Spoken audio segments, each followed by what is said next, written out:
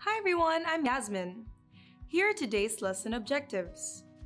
By the end of this lesson, you will be able to learn the format of a formal letter, learn the vocabulary needed for a complaint letter, use the correct tone when writing a formal letter, and before we begin, let me ask you a question.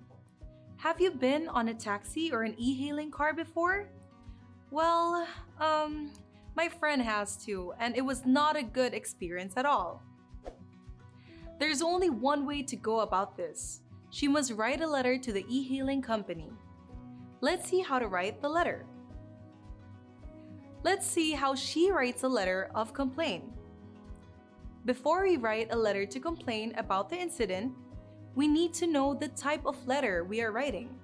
A complaint letter requires a formal letter because we are writing to a company and it is official. This is the page of your letter. Let us look at this task closely. The addresses account for format marks. Let us find out what else in the letter carry format marks. Here they are. These are the items for format. Sender's address, recipient's address, date, salutation, title, signatory. Remember how to write them and their positions. You must not get them wrongly written as they account for 3 marks in total. So, do get them right. Shall we look at the way the complaints are written? You cannot list the complaints in numerical fashion or in point form.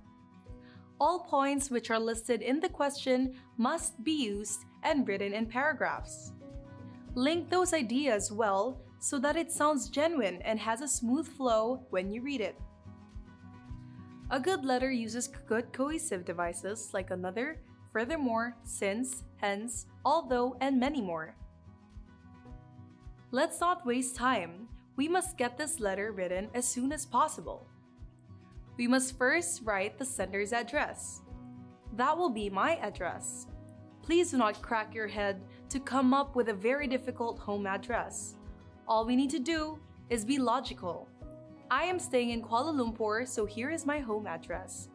Number 25, Jalan 35 stroke 50B, Desa Sri Hartamas, 50480 Kuala Lumpur. Let's not draw a line to separate the next section. Now, we will write the recipient's address. Ah, yes. The recipient is the person who will receive our letter. Oh, I may have to look for the company's address from the app. Here it is. Okay, I need to write this down under the line. Managing Director, Hopin, bracket M, Sendirian Berhad, M here stands for Malaysia.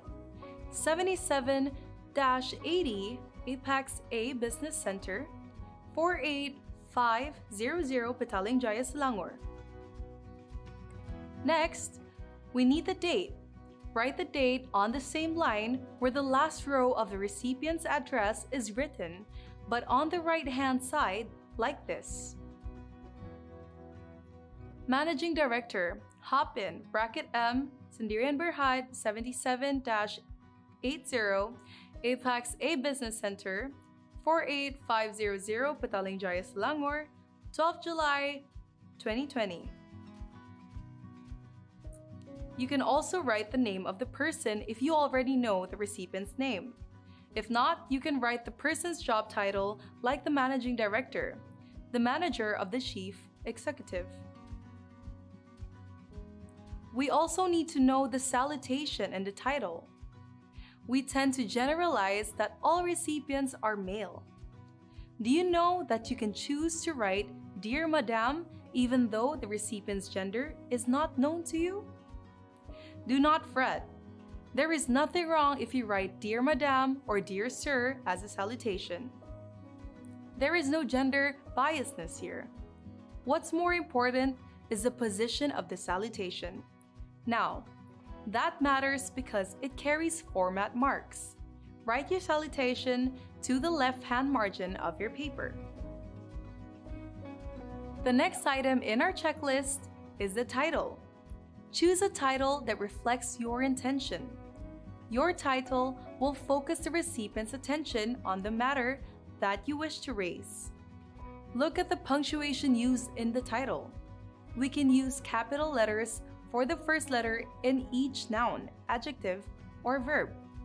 There is no need to use capital letters for prepositions like in, about, and on. Underline your title and align it to the left-hand margin. Look at the example on the screen. Before we proceed, here is what we have on the paper so far. Now, we have come to another item, the introduction. The introduction should contain a brief overview of what had taken place, the details of the incident, and state the issue that the writer wishes to address. So, we can write about the main complaint, irresponsible driver, details of the trip, name of the driver, details of the ride. Before we start writing this letter, please remember that we are narrating an event that had already taken place. Make sure we use verbs in the past tense form. The next pointer is the choice of our words. We need the recipient to understand our agony and frustration. Hence, the choice of words to express our experience must reflect these feelings. I have a few in my head already. What about you? This is what I have in mind dismay, frustrated, shocked, frightening, sad, turmoil, agony, rude, ungracious, revolting. Do you have other words that you would like to add? Using a circle map is definitely a practical way to prepare ourselves before we start writing. Someone once said, Failing to plan is planning to fail. It looks like we are ready to write. Here is my draft. I wish to bring your attention to the irresponsible attitude of one of the drivers in your e-hailing company. Here are the details of my frightening journey. I booked a car for a trip from Aikina, Damansara, to go to Sunway Lagoon on 30th June 2020 at 2:10 p.m. The driver's name as shown on the application was Mr. Lim Chi Boon, and he was driving a blue sedan car. The registered plate number was HB7781. Now that is a good and compact introduction because it is direct, formal, and contains details of the ride. The following paragraphs should be about the complaints. Do you notice that we do not need to write number 1 for the introduction? However, the subsequent paragraphs will be numbered. Before that, let us take a look at her complaints. Impolite driver did not greet her. Speeding above speed limit. Speed limit was 90 kilometers per hour. Did not wear seatbelt. Overtaking dangerously. Almost hit another moving car. Talking on the phone while driving. Did not drop her at the drop off point overcharged. Original price 18 ringgit, charge more for toll. The following paragraph will further elaborate the complaints I faced during that frightening trip. The driver was shockingly rude to me from the time I stepped into the car. The absence of greeting or response even after I said hi to him was really uncalled for. I felt that he was being very impolite and ungracious to his passenger. Since I was in a hurry, I had no choice but to get in. Furthermore, canceling my booking at that point in time would only incur more cost for me as I would be penalized and charged for the cancellation. Despite the negative first impression, I still got into the car, and to my surprise, Mr. Lim was not wearing his seatbelt which I thought was a clear violation of road safety.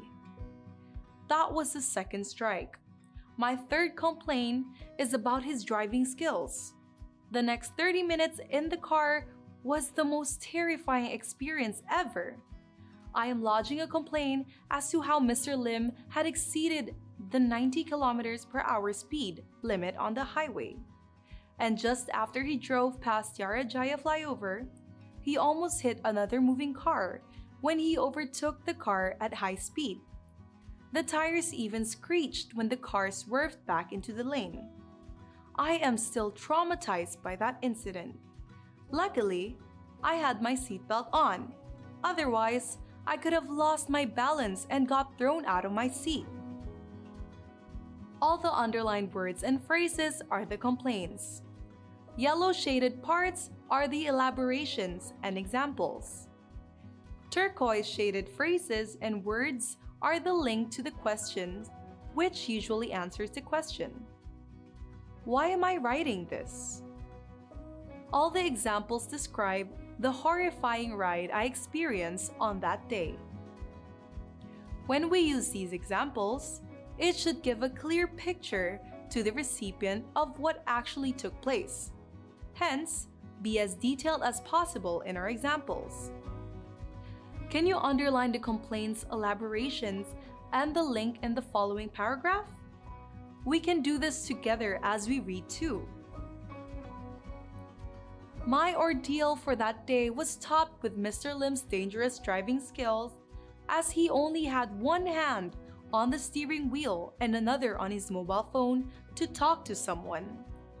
I was in terror during the entire journey as he was driving dangerously and was taking a very lackadaisical attitude on our safety. This driver is definitely an irresponsible person and should not be licensed to drive other people in this car. When he dropped me off, he did not stop at the designated drop-off point at Sunway Pyramid, hence causing a scene when many cars behind us honked endlessly. I felt so embarrassed that day. All eyes were locked on me, and when I came out of the car, Mr. Lim left without saying bye or thank you, which was very ungracious of him, unlike the other drivers in your company. Let's check if you had managed to identify the complaints, elaborations, and the link. The answers are on the screen. Let me give you some time to check your answers. We have now come to another paragraph. In this paragraph, I have used some good words to express my feelings. They are turmoil, appalled, and overcharged. This is paragraph 4. My turmoil on that day continued when I looked at my mobile phone to check the charges applied for my trip. I was appalled to find out that he had overcharged me by 15 ringgit and 50 cents for the toll fare. The lack of integrity in this driver is worrying. Not only had this driver compromised the safety of his passenger, he was also robbing people in broad daylight. Can we do the same exercise as we had done with paragraphs 2 and 3? Can we check the answers now? Did you get all the answers? Complain. He had overcharged me. Examples or elaboration. By 15 ringgit and 50 cents for the toll fare. Link. This driver compromised the safety of his passenger he was also robbing people in broad daylight. We have now reached the concluding paragraph. In this paragraph, we need to reaffirm our complaints and stress on the importance of the issue. We should also urge the company to take immediate and stern actions. Let's read together. I seriously feel that Mr. Lim is unfit to drive people around and your company's reputation will be tarnished by employees like him if you continue to rely on him to drive passengers around. Please take stern actions to correct such negative attitude so that your clients will feel safe to use your service. Before I end, I wish to thank for taking the time to read my complaints. Please do something quick before someone else gets hurt. Are you able to identify the writer's plea? Look at the underlined sentence. That is a powerful message that is being conveyed by the writer. And finally, end your formal letter with your signatory. Since I wrote the letter, I'm going to sign it now. Please remember to write yours faithfully before signing it. Your name in capital letters should be written below your signature. And this letter is ready to be mailed to the e-hailing company. I have some tips and strategies that I would like to share with you today. They can come in handy when you prepare yourselves to write a formal letter. These are common errors you should avoid. Not constructing complete sentences or writing in point forms. Example 1. The following are my complaints. Driving very fast exceeds speed limit. Driver charged more than he should. The examiner would mark your points in number 1 and number 2 as being incomplete or another way of putting it is hanging because they are incomplete sentences. This is a serious error. So, you must aim to write all the points in complete sentences. Let us look at the second example. Example 2. My complaints include the driver overcharging me, driving recklessly, not being courteous to his passenger, and many more. This sentence is a complete sentence. However, this is not the correct way to list your complaints in a formal letter. Can you spot the mistake done by this writer? First of all, you must not list write a long list in only one sentence. Preferably, just stick to one or two points in a sentence. You will lose marks for content marks for the mere mention of all the complaints in one very long sentence. What more if you do not elaborate the points in the following sentences? Now remember this the use of many more is not advisable. In a directed writing essay, you need to be more specific. Many more is a very general sweeping expression, so do avoid using this in your writing. Every time you write a formal letter, bear in mind the tone used should be formal too. Hence, slang words are not allowed. Avoid the use of contractions too. Write in full. An example of a contraction is isn't. You shouldn't write it as is not. Isn't wrong.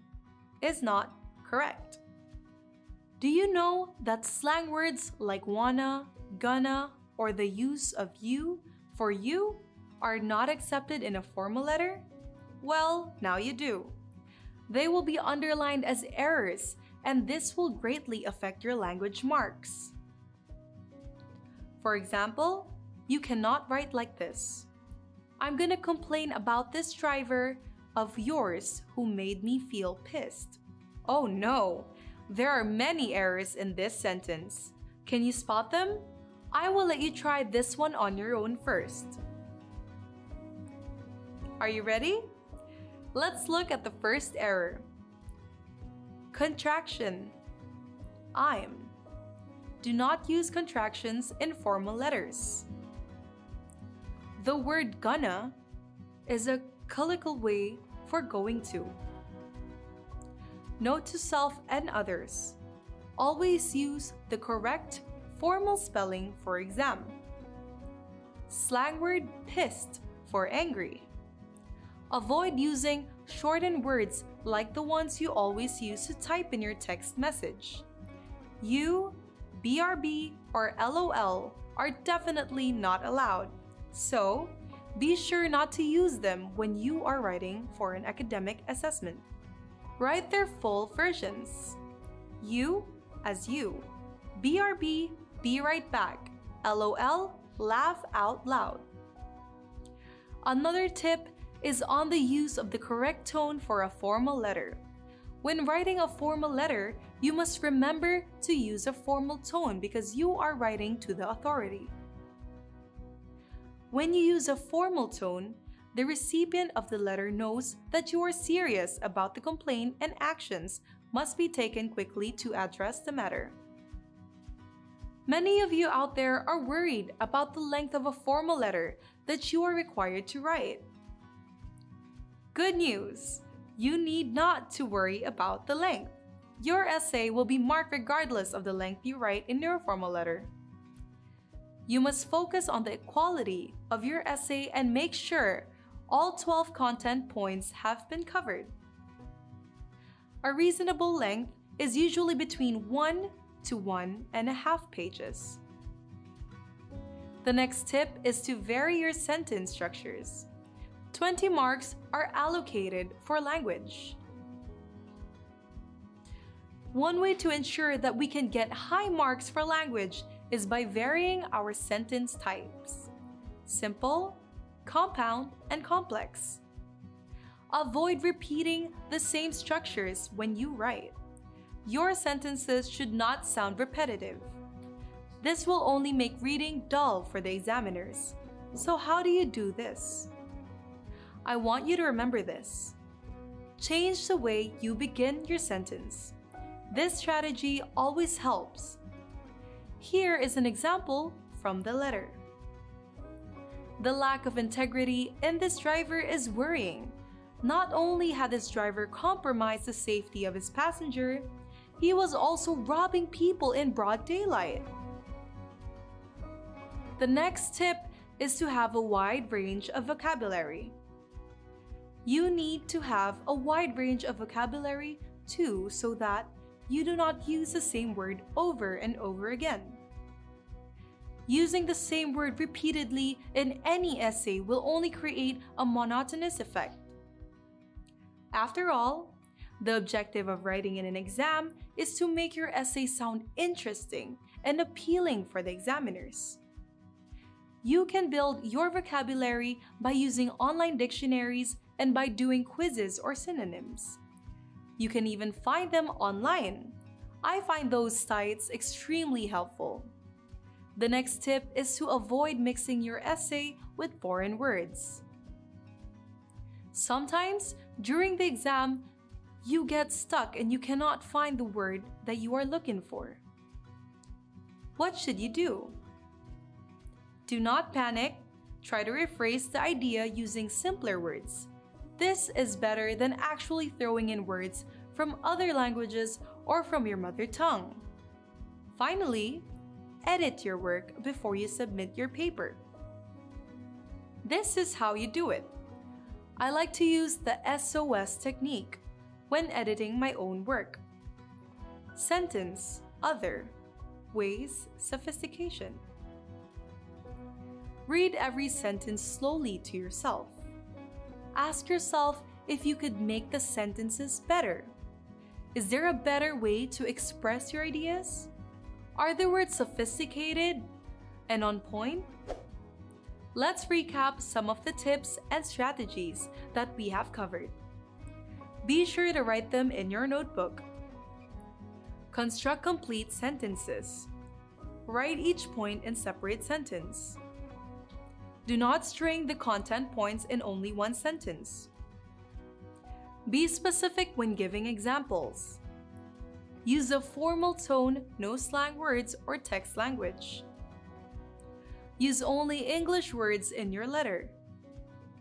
Cover all content points. Vary sentence structures and avoid repetitions. Have a wide range of vocabulary. Here is a vocabulary challenge that I would like you to do on your own. Rearrange the letters to discover the words.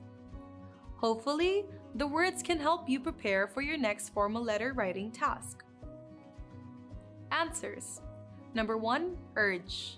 Number 2, comply. Number 3, nuisance. Number 4, discomfort. Number 5, lodge. Number 6, hefty. Number 7, municipal. Number 8, public. Before we end, let's look at the complaint letter again.